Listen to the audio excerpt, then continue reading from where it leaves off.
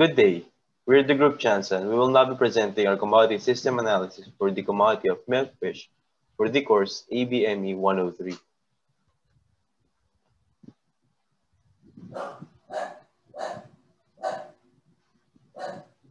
Now for our members, we have Almirah Arellano, Jasper Dane G. Dela Cueva, Maridet B. Gador, and me personally, Miguel Carlos Francisco Pernia. Now we'll first start the presentation with the overview of the commodity, milkfish, to be presented by a member of our group, Maridet Gador. The presentation will rotate within this commodity system analysis framework, which we will discuss the key points of each subsystem, wherein we aims to identify the investment and development entry points of the milkfish that will serve as a guide for future purposes. Milkfish, with the scientific name of Chanos chanos, is commercially cultivated in the Philippines and other Southeast Asian countries for food consumption. It is widely known for its soft pink flesh, mild flavor, numerous small bones, and good source of protein. It belongs to monotypic Gonorynchiformes family and also it is first found in Indian and Pacific Ocean. These are the top three producing country of milkfish. Third in rank is the country of Taiwan. Second is the Philippines. And the first one is the country of Indonesia. Combining the first and second country, it makes up the 95% of the total milkfish production in the world. Milkfish industry in the Philippines. The fact that the Philippines is surrounded by water the milkfish production boom in the country, making it a former rank one and currently rank two country in milkfish production. And also with 281,727 hectares of area production as of 2002. The milkfish industry plays a huge role in socio-economic of the country. Given that there is a thousand milkfish farms that operates from small scale to large corporation, giving thousands of jobs. Aside from that, milkfish industry also helps to address the food security within the country. History of milkfish in the Philippines. Raising milkfish started back 4th to 16th century, solely dependent on restocking ponds from different wild shore waters that leads to different varieties of species and amounts. With this setup, problem arise, which is having unreliable and unpredictable variation. And because of that, later on in 1970, large funding was made in terms of infrastructure, research, and etc. Then it was followed by the establishment of Southeast Asian Fisheries Development Center, or SEAFDEC, in Ilo, Philippines uh, in 1973. In the mid 1970s up to present, the government and other fisheries institutions give their full support to, in order to strengthen milkfish industry in the Philippines. Now I'll be presenting for the input sector. The materials that would be considered as the major input for rearing milkfish would primarily be the fry and also the feeds that will be provided for the fingerling up until the sexually mature phase. In earlier times, milkfish breeders were heavily dependent on wild fry in order to stock their ponds and a large portion of the fry were caught in the coastal area. The Bureau of Fisheries and Aquaculture Resources so, uh, then discouraged this practice among the fisher folk and also the breeders since it posed a great risk to the totality of the available wild milkfish in the Philippine waters. With enough research and development, the Philippines, with the help of the organizations such as SEAFDEC, World Fish, FAO, and BFAR, the Philippines, along with Indonesia, Thailand, and Mal Mal Malaysia and Taiwan, are now obtaining a significant amount of their fry from hatcheries. Next slide, please. Now, for the sources of input, with the Philippines being currently a global leader in the production and marketing of milkfish in the fisheries sector, the country is able to produce its own materials for the input sector while strategically importing milkfish fry from other leaders in the milkfish farming, such as Southeast Asian countries like Singapore, Malaysia, and Indonesia, in circumstances wherein there is a shortage in supply. Next slide. I'll be presenting for the production sector. Over the years, production of milkfish has been unstable and unpredictable. Despite that, Philippines is still one of the top producers of milkfish globally, with approximately 400,000 metric tons of produce from 2012 to 2016. Next.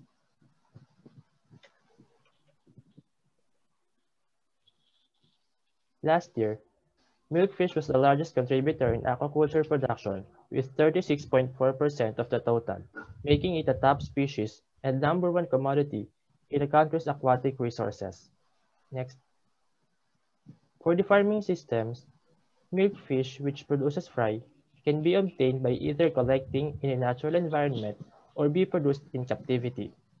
Milkfish are collected, stocked, fed, and maintained until they reach sexual maturity. After that, the milkfish are bred and transferred to hatchery.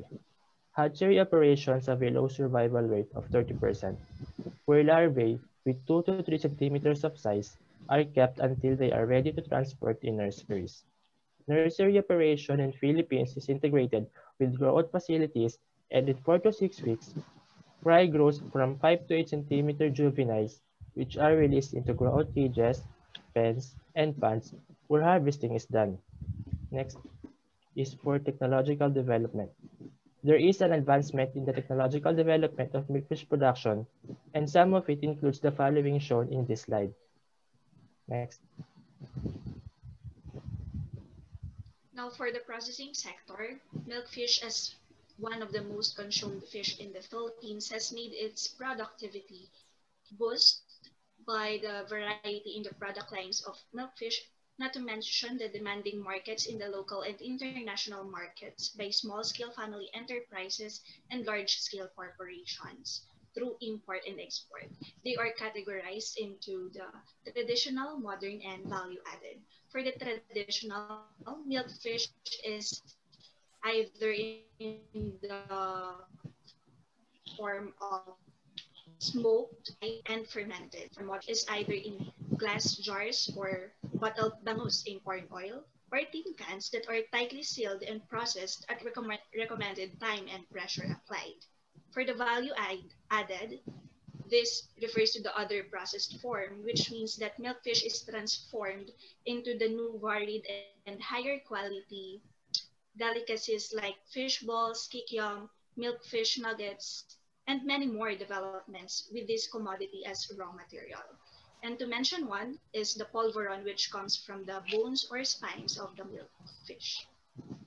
And we have next the manufacturing companies and scale operation for milkfish, such as the Cabezotes Trading, First Catch Enterprises, Kowong International Freight Corporation, Princess Joy Freight Trading, PSK Logistics, Trade Corporation, and Tiger Marine Product.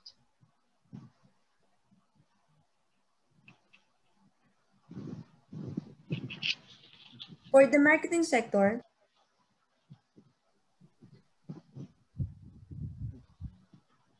In the Philippines, marketing channels are characterized by a fairly decent chain of operations. While most of the production of milkfish is produced from the brackish water and aquaculture input systems, a small portion is also from the fish plants or nurseries found in our country. Another form of this is also utilized by using fish cages and fish pens, which is which is mostly utilized by urban communities that are residing within the vicinity of the or oceans. Now for the rankings of the different regions that produce the most of milkfish in the country, we have the uh, ARMM, Region 9, Region 4B, and lastly, Cordillera Administrative Region. Next slide, please. Marketing channels for the commodity of milkfish vary slightly depending on the province that the commodity is marked or processed from.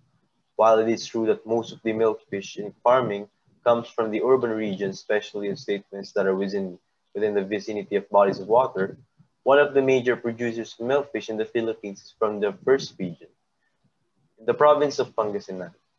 With careful consideration of the data presented in the table that is received from the Bureau of Aquaculture and Fisheries, Region 1 contribute a substantial amount in terms of milkfish production from the year 2018. Down here, a diagram can be found wherein it illustrates the marketing channels that the Pangasinan has within. Next slide, please.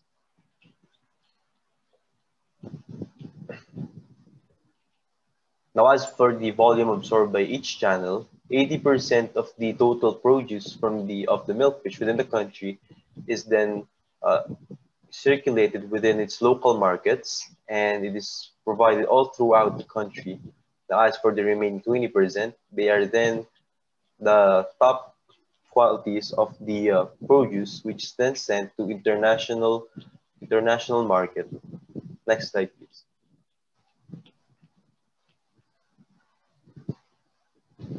Now then, the marketing strategy strategy adopted by producers and traders.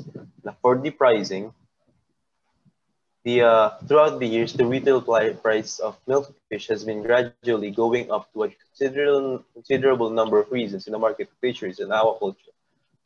According to a recent and ongoing statistical survey from Statista, the domestic retail prices of milkfish have been steadily increasing throughout the years, with the biggest jump of 133.12 pesos in the year 2017 into 156.18 pesos in the succeeding year, 2018. Below is a graph that high, and then, then the domestic retail price of the Philippines from 2007 up until 2018 shows that it has been steadily increasing. Now, as for the promotion of the said commodity, milkfish or locally coined as bangus is considered as the national fish of the Philippines. With this, it is no surprise that it serves as a staple in the Filipino palate since people of all ages are able to, cook, to uh, consume and cook it into different dishes and variations. The milkfish is also a staple in Southeast Asian cuisine such as Indonesia, Malaysia, and also Taiwan. Next slide, please. For the price trend, the figure shows the retail price of the milkfish in the Philippines from 2010 up to 2018. It is observed that there is a great increase in the price from 2017 to 2018. This is for the reason that there is a great decrease in the volume of production from 2017 to 2018, leading the price increase. For the supply situation, the figure shows the daily per capita net for disposable of milkfish in the Philippines from 2012 up to 2017, which refers to the remaining balance of the commodity after consumption. It is seen that there is an increasing trend from 2015 to 2017 showing that the milkfish supply is increases.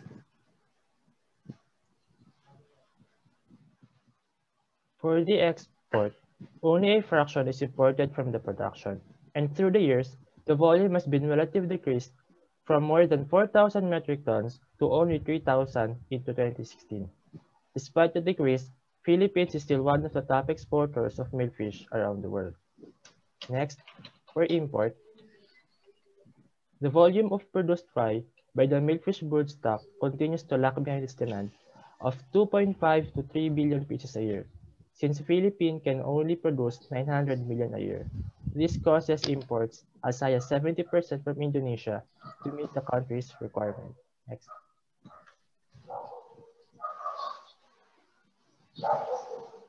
Support sector. These are the major institutions that supports the milkfish industry.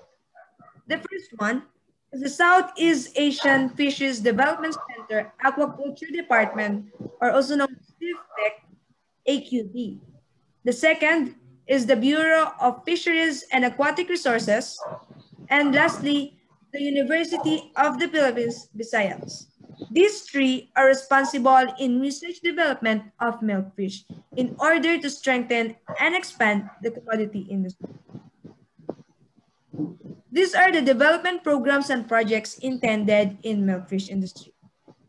First one is the development and application of symbiotic enriched fish feeds, which this aims to test the effects of feeds in the health, immune status, and performance of milkfish.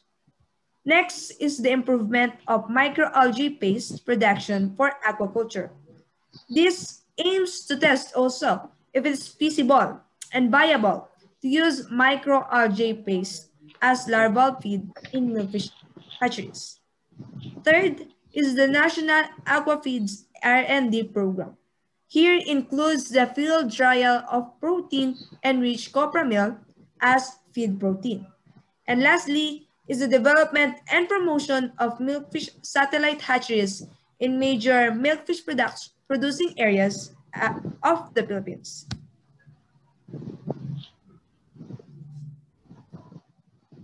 For the investment strategies, it is to maximize the production area where establishment of additional central hatcheries is recommended, as well as providing loans for farmers.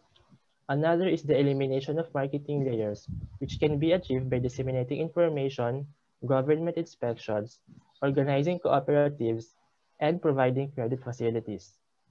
Next.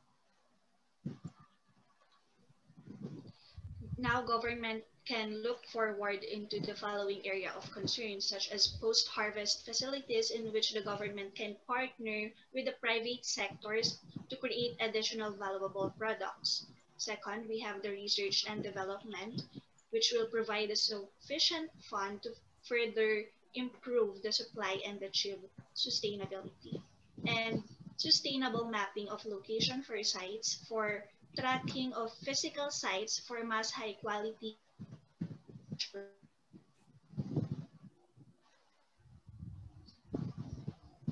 Here in the industry analysis, we focus on the strength, weakness, opportunities, and threats in milkfish industry per sector. The strengths include that it can source tools, equipment, fry, and feeds. Production techniques and practices are already available. It has optimal condition to spot and breed milkfish. There is a high demand. Preserving methods are available. The export market is stable. Support from government and private institutions are present. And lastly, different studies and researches on milkfish are available. Next. Now, as for the weaknesses of the said commodity, it is highly dependent on high costs, fry inputs due to the lack of technical and financial assistance from the uh, subsidence and support from the go government and agencies that sh should be providing the due, due, con the due, uh, due help for this commodity. It also has limited processing plants and poor market facilities. It has mostly raw forms available in the market it lacks data on milkfish and it lacks programs and developments for the projects in the uh, milkfish for this commodity in this uh, this type of market. Next slide, please. And these are the opportunities that we foresee in the milkfish industry. The first one is the access to feeds and price. Next is the support from research institutions. Then there is also room for improvement in milkfish production. Also, the possibility of constructing plantations. Uh, aside from that, the variation of milkfish dishes. And lastly, the coordination from different groups or institutions for future projects and programs.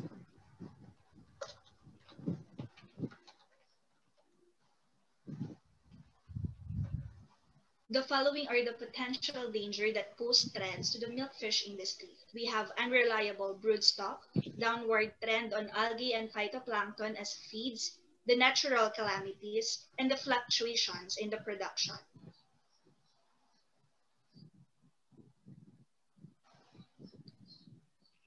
After the uh, after identifying the SWOT analysis, now they are, these are what we conclude.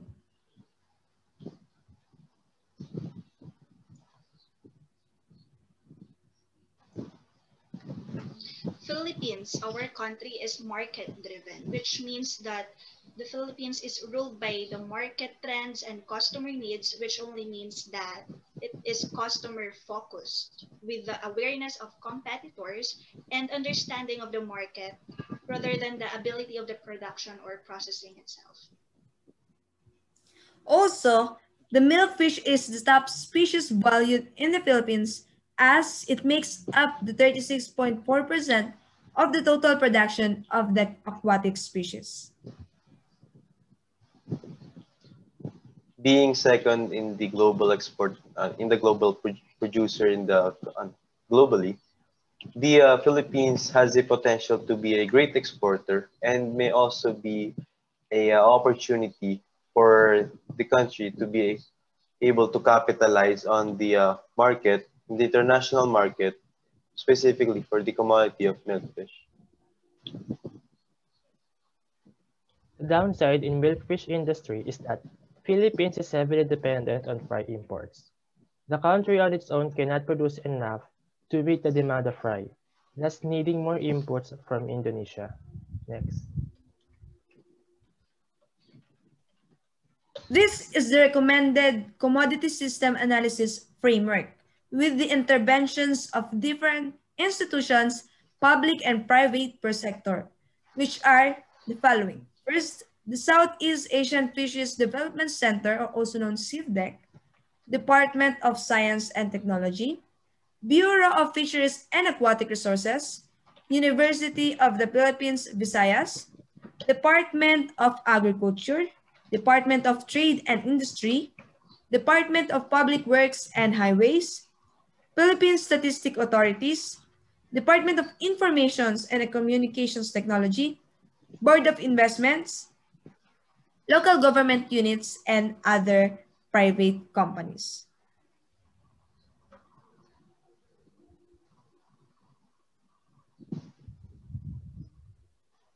We recommend to improve the feeds from different sectors. For production, it is recommended to help small farm owners by providing technical and financial assistance. Another is to optimize the available fry technology since there is a low survival rate. For processing sector, constructing plantations and integration of modern technology is recommended. Lacking in data is one of the main problems of the marketing sector. To solve this problem, we recommend gathering, compiling, disseminating of data with the help of different sectors, and also improvement of logistics with the help of modern technology. In the support service sector, the small scale farm is at disadvantage. So we recommend that the different institutions assist them and maximize their potential. Aside from that is to launch cooperatives that will help and assist each others in any means possible. Now for the specific recommendations for the commodity, we have prepared a series, uh, a series of technology that could be utilized by our country and also for the countries that plan to uh, invest for the commodity of milkfish. Now, first up, we have the automated and customized feeding systems for fish farms and nurseries. Now, for this specific technology, machine and automation, it is mostly applied and utilized by fish farms and nurseries that have operations that are considered to be of medium or large in size. It provides precise and accurate feeding times along with a specific size of pellets for the fish that is currently in the nursery. The pellet size and amount may be micromanaged in order to accommodate the specific needs and requirements of the fish that is being fostered within the system. Next up is this temperature regulating system. This specific technology is, apl is applicable to countries that are geographically located in the regions of the world wherein the climate is borderline inhabitable for tropic and subtropic fishes, especially the milkfish. The climate for the uh, climate for the region could either be too cold or too hot for the fish to survive and even to proliferate. For the milkfish, the temperature range that is considered habitable and preferred would be within the range of 18 up until 30 degrees Celsius. Now, lastly, we'll have the uh, sonar and acoustic telemetry system. This advanced technology provides accurate and real-time view of the fish within the fish cage, tanks, or pens wherein they are, called, they are cared for. With the use of sonar, sonar technology and telemetry system, along with the submersible cameras that are set up within the entirety of the cage, the fishes are able to be observed if they are receiving enough nutrition, and they may be carefully monitored and selected if otherwise. This technology also provides the accurate data or statistic there is for the fish that is pre present within their specific cage or tank. It also makes hold of the technique wherein each individual fish is grabbed and examined.